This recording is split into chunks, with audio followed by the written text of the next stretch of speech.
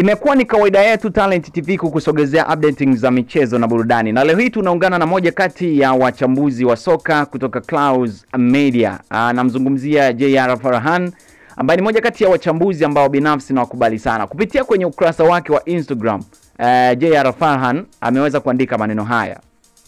Anasema Mo Dewji anaongea ukweli ambao wengi hawataki kusikia, na kuna siku niliandika andiko langu hapa kuwa mpira wa miguu bado sio mchezo ambao ni biashara, bali mchezo wa sifa na ufahari tu. Anasema lakini sio mchezo ambao una hiyo return kwa hapa kwetu Tanzania. Kabla sijaendelea, nikukumbusha hii ni Talent TV. Asante wewe ambao umekaa na sisi kunako mitandao yetu ya kijamii, na ikiwa bado huja subscribe, basi fanya hivyo. Lengo ni kupata taarifa zetu zote. Tunaendelea. Anasema Mo ana asilimia 49 ya hisa na ndiye pekee yupo active, ila tuli, eh, tulizane hiyo 51 ya wanachama ina nguvu gani? Wanachama wangapi wamelipia kadi? Wanachama wangapi wamekuwa wateja wa klabu moja kwa moja? Bado kuna changamoto kubwa. Leo hii Al Ahli ya Misri ina kadi za wanachama mpaka milioni mia moja.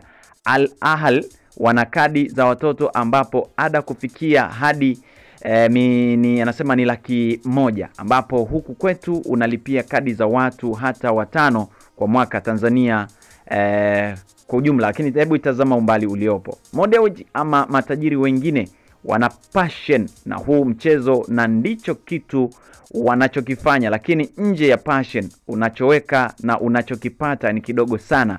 Mfumo wetu bado haupo kwenye mfumo wa kibiashara. Senzo alipokuja nchini alitaka kutupa nchi fomati nzuri sana ya mpira biashara. Alitaka kutupa fomati nzuri sana ambayo South Africa uh, wale Giant wanaitumia kiasi ambacho wanaridhika na mapato wanayoyatengeneza. Mo ana haja uh, ana hoja tena kubwa sana, asikilizwe. Ana asilimia 49 tu na ndiye anayeweza, ila asilimia 51 iko ime, eh, imeganda na wala sio asset kwa klabu, hivyo eh, mfumo unaendeshwa na wenye hisa ndogo. Alimaliza kuandika hivyo.